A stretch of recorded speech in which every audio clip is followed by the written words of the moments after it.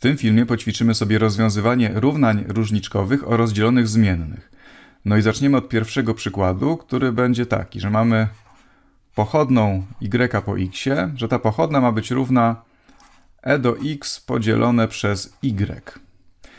No i jak zwykle zachęcam Cię, spróbuj rozwiązać to równanie, przy czym jako wskazówkę powiem Ci, że to jest równanie o rozdzielonych zmiennych. I to jest bardzo istotna wskazówka, która pozwala takie równanie rozwiązać. No właśnie, no bo co to znaczy, że równanie jest o rozdzielonych zmiennych? To znaczy, że można je przekształcić algebraicznie do takiej postaci, żeby mieć po jednej stronie równania tylko y i dy, a po drugiej stronie równania tylko x i dx. Te zmienne się rozdzielają, dlatego to równanie się tak nazywa. No to, żeby to osiągnąć, to tutaj musimy pomnożyć obie strony przez y, wtedy y nam się znajdzie po lewej, pomnożyć przez dx, wtedy x, x, dx się znajdzie po prawej. No i ktoś może powiedzieć, że to mnożenie przez dx to jest takie trochę śliskie, nie wiadomo co to dokładnie znaczy. No i rzeczywiście to jest trochę takie machanie rękami. Temu można nadać formalny, matematyczny sens, ale to jest, to jest temat na inną opowieść. Tutaj traktujmy to jako taką mnemotechnikę, że to działa i pozwala rozwiązywać równanie różniczkowe, czyli dostaniemy równanie w takiej postaci y dy równa się e do x dx, no bo pomnożyłem obie strony przez y, obie strony pomnożyłem przez dx w jakimś sensie takim nieformalnym. No i teraz mogę scałkować obie strony. Tutaj dopisuję magiczny znak całki. Mogę niezależnie scałkować obie strony, bo jedna zależy tylko od y, druga tylko od x. No i co dostaną? Po lewej stronie całka z y, no to jest łatwo obliczyć, to będzie y kwadrat przez 2, całka z funkcji potęgowej, to jest łatwe do obliczenia. Całka z do x jest jeszcze łatwiejsza, bo całka z do x to jest e do x.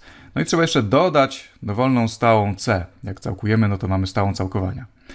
No i teraz mógłbym tutaj teraz rozwikłać to równanie i napisać wzór na y, że y to jest plus lub minus pierwiastek z dwa razy e do x plus c z tego, co jest po prawej stronie, ale mogę też zostawić to już w takiej postaci. Tę część, która polega na rozwiązaniu równania różniczkowego już wykonałem, teraz to już jest tylko taka część, która po, polega na tym, żeby algebraicznie rozwikłać to równanie. Tutaj mamy funkcję y od x w postaci uwikłanej zadaną ja to już zostawię tutaj. Jak chcesz, to sobie możesz no, rozwikłać, tak jak powiedziałem, to jest akurat łatwe w tym przypadku.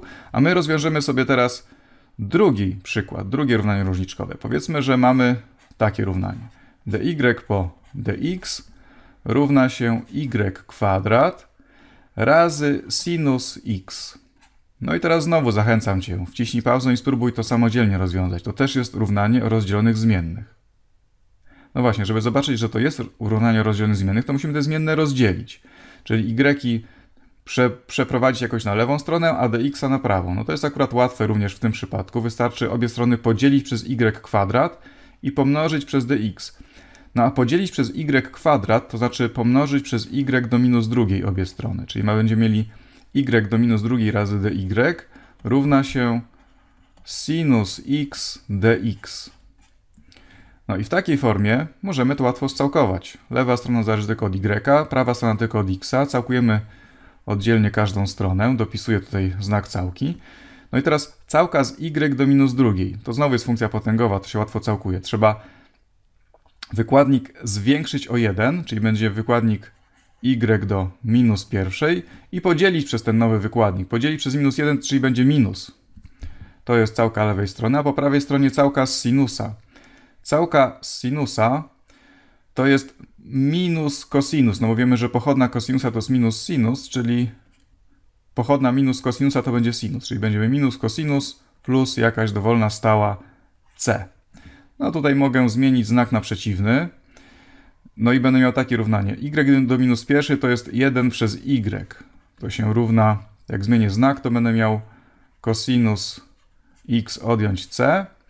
No i tutaj odwrócę to już, rozwikłam to równanie, bo to już jest naprawdę bardzo łatwe. I napiszę, że y to jest 1 przez cosinus x odjąć c. Dowolna stała c. Wszystko jedno, czy minus, czy plus.